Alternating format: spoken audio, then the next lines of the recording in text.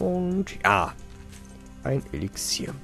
Gut, ich denke, dann haben wir alle Objekte. Seht ihr, das dauert gar nicht mal so lange, wenn man durchrennt. Also ich meine mit der Renntaste.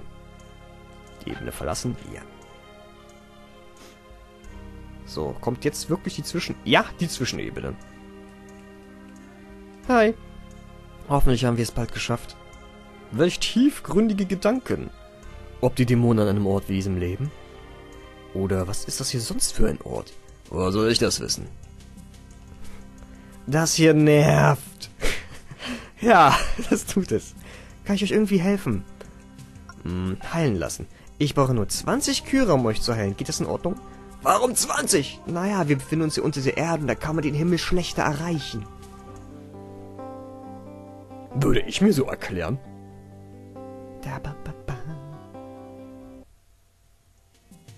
Nice. So.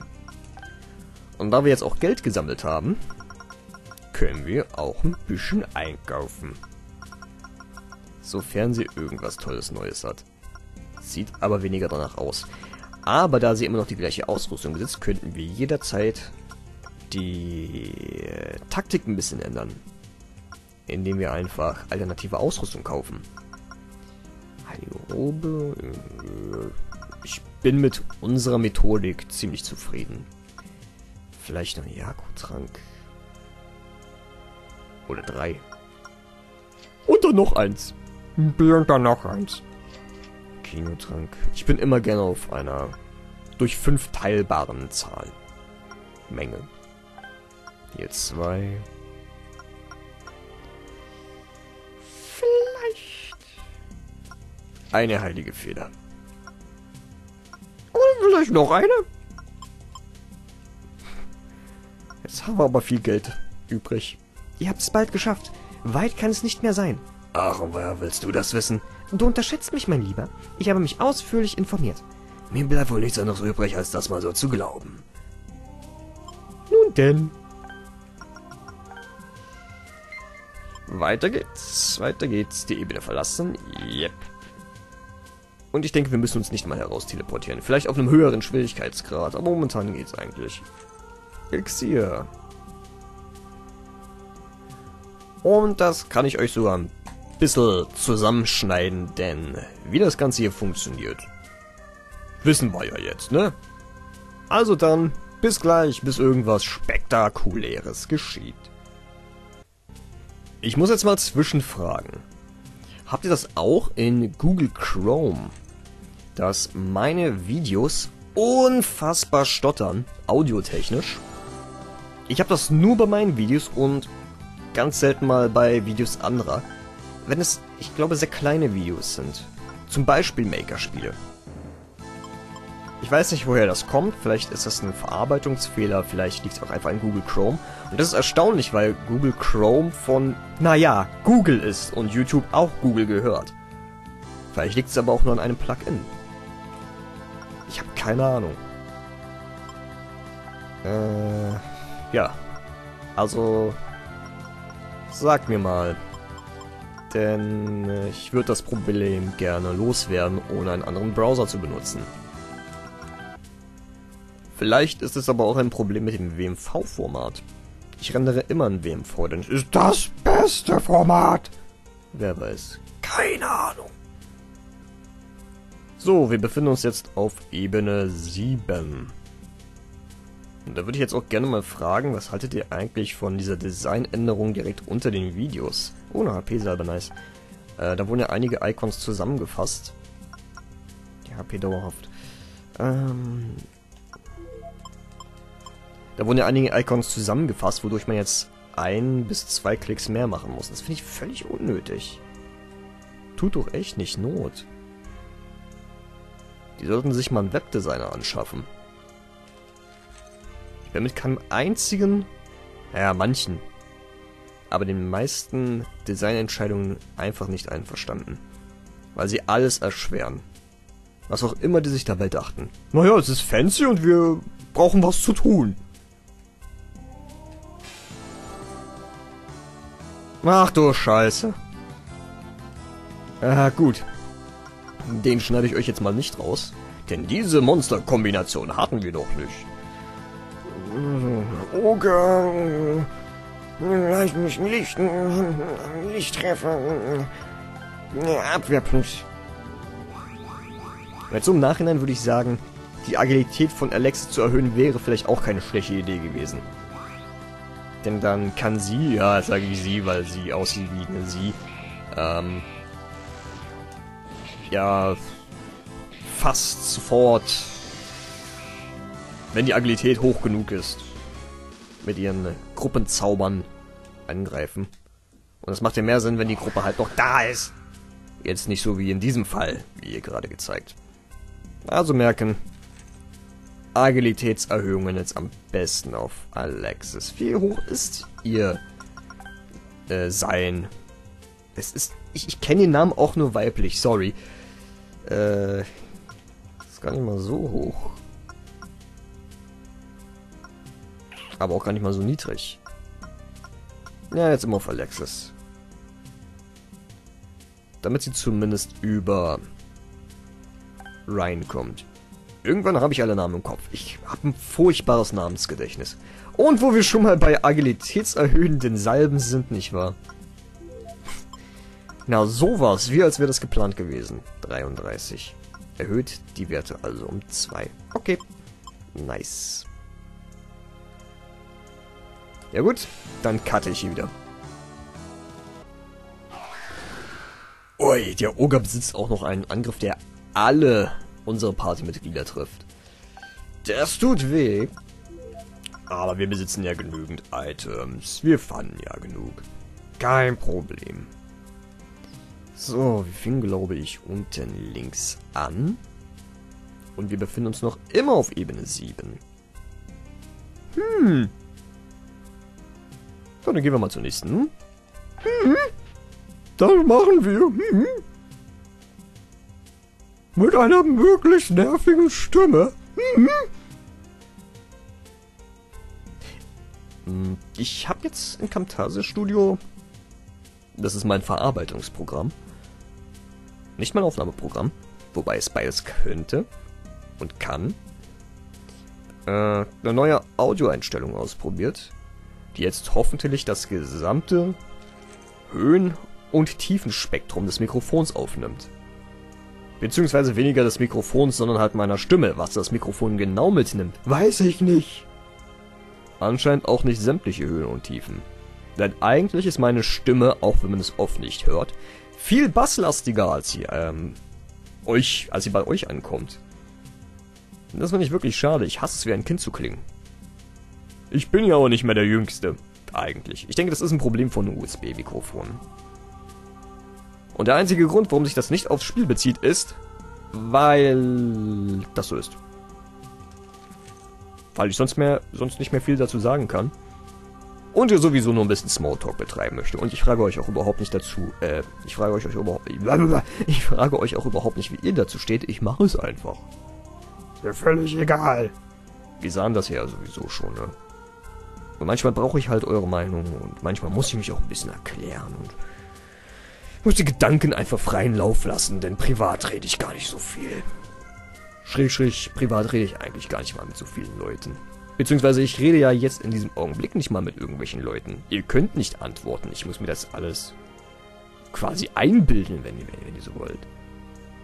Ich muss mit mir selbst reden, auf mich selbst reagieren. Das ist irgendwie, ha, seltsam. Das kann ich viel besser, als auf Leute zu reagieren. Hm. Einfach mal die Gedanken schweifen lassen. So, runter zu Ebene 9.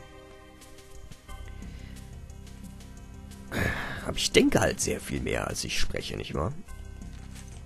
Und wenn ich dann mal mein, das sagte ich ja schon am Anfang dieser Aufnahmesession, wenn ich mal meine Gedanken mit meinem Gesprochenen in Einklang bringen kann, dann freue ich mich.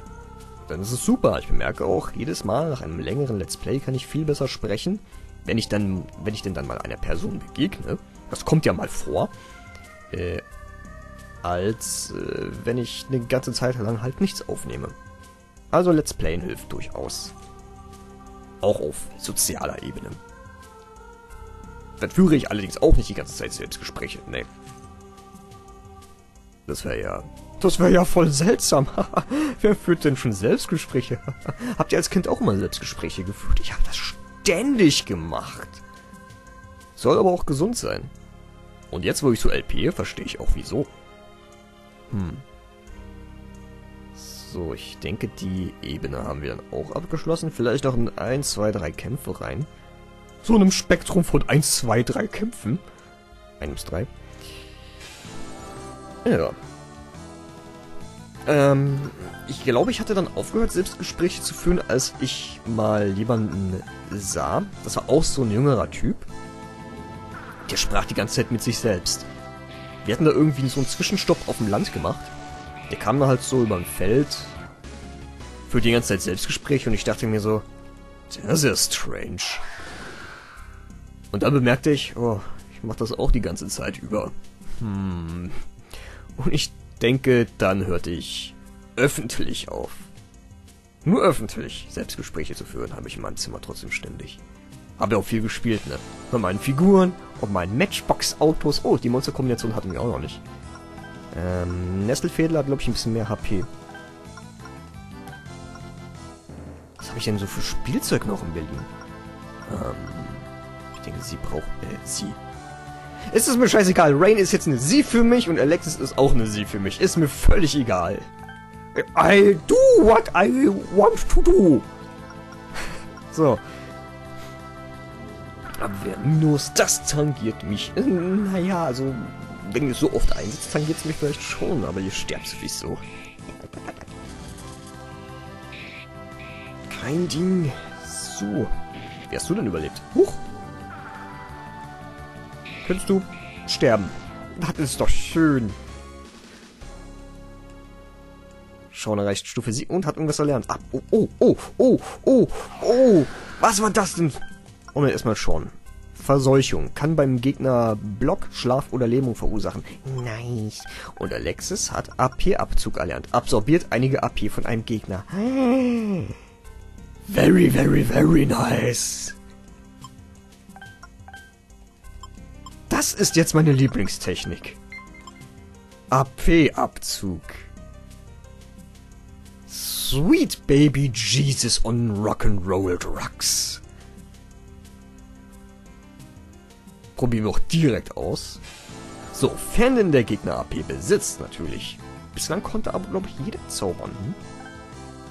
Äh, wir greifen den Nesselfädler mal an mit dem äh, Lichtschlag und dann äh, AP-Abzug.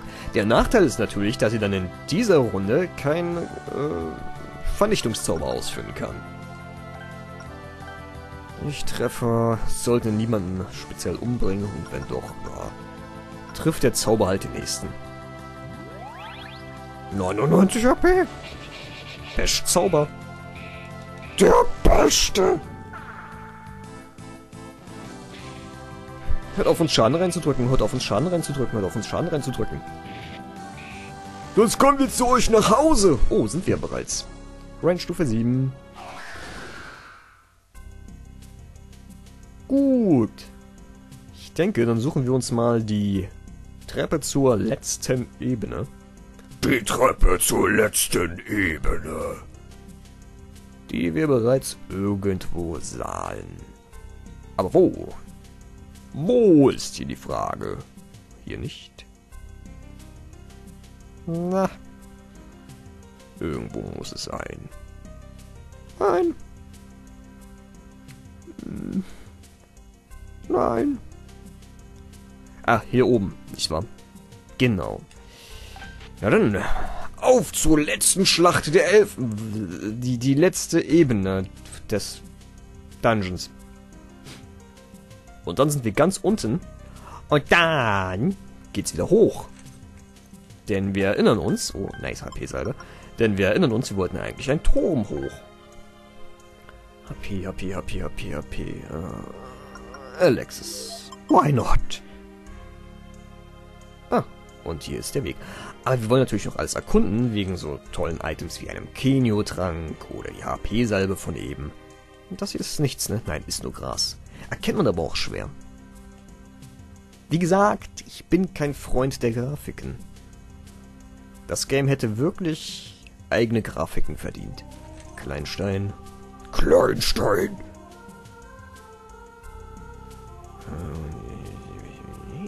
Nee, nee, nee. Nichts weiter, nichts weiter.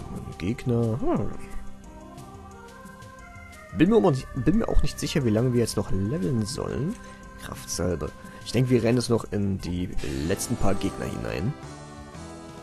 Und dann treffen wir, glaube ich, sowieso erstmal auf keine weiteren. Ähm. Eigentlich braucht er gar nicht so viel Agilität, wenn er den Erstschlag besitzt. So, AP-Abzug benötigen wir nicht. Gleißendes Licht auf jeden Fall Lichttreffer. Dann sollten die nächsten MP-Salben vielleicht, äh, AP, ist egal, AP, MP ist hier dasselbe im Prinzip. Äh, sollten vielleicht auf Rhein gehen. Ja. Ansonsten Abwehr. Uh. Schön, schön, schön, schön, schön, schön, schön, schön, schön. Ja, der lebt ja noch. Kein Effekt. Und selbst wenn, hätten ihn seine Nesselfäden auch nicht gerettet. Wunderbar, wunderbar. Wir schauen einfach mal, wie viele Erfahrungspunkte sie noch benötigen. Zur nächsten Stufe 567. Also so um Dreh 500. Ich merkte mir jetzt allerdings nicht, wie viele Erfahrungspunkte wir von den Gegnern erhielten. Da wir jetzt sowieso nochmal gegen welche kämpfen, äh, schauen wir uns das Ganze einfach mal an. Schon du Dämonenbeißer, die sind weg im Nu mit einem glänzenden Licht und sind so tot. Tot, tot, tot und Überraschung, du bist auch tot. 40 Erfahrung. Naja, gut, das ist jetzt nicht äh, allzu viel. Hm, Das Grinding lohnt sich jetzt hier also nicht mehr so arg. Vor allen Dingen jetzt nicht hier auf der letzten Ebene. Wo die Gegner limitiert sind. Ich frage mich, ob wir nach dem Turm nochmal in den Dungeon hinein können. Hm. An sich wäre es sinnvoll. Sofern wir denn eine Engelsfeder dabei hätten. Holy shit, äh, Verseuchung. Versuchen wir es mal mit der Verseuchung. Lichtstrahl, eine nach dem anderen bitte. Ich denke, das ist effektiver. Ich denke, das haut mehr Schaden raus. Lichttreffer, wow. Und ansonsten auf jeden Fall die Abwehr erhöhen. Die machen nämlich ganz, ganz großes böses Aua. Die zwei hier.